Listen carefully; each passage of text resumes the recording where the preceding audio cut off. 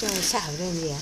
kệ nó, cho nó bậu vào đấy bỏ tay vào cứ bỏ tay ra cho nó bậu lên khỏi bị xô này các bác nha con này à, đánh dấu chân bên trái tính như à, đuôi lên là con cái đấy.